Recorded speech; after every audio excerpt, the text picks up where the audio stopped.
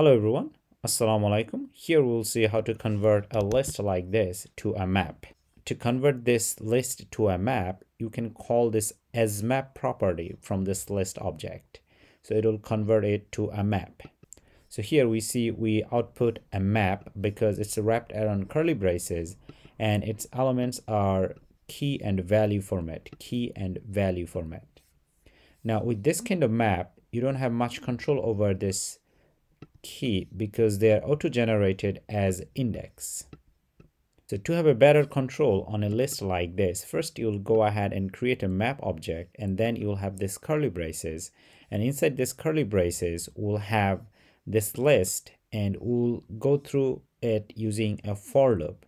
So we are going through this list using a for loop and each time we are taking one value from this list. So now this value over here inside this map, we are putting it as a key. And for this keys value, we are doing string interpolation, which means that we have better control on this. So let's go ahead and check it. Now, of course, this curly braces over here, they represent map. Now, as you see over here, we generated a new map. And for this map over here, we have this key which is coming from this list and the value is a combination of the string and the key itself. Of course you can change it as you want. So that's how you get a better control on a map.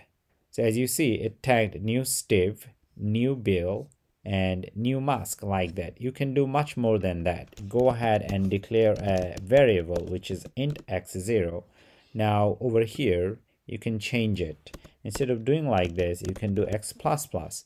Now we'll see that we have a different key and value. So this time key is this list value. And for value itself we are using this int x variable and looping through it. And of course we can change the side.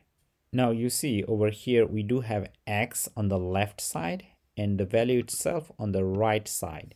So with this we'll have a better control on the new map which is generated okay? So personally i think this is a better approach to create a map from a list.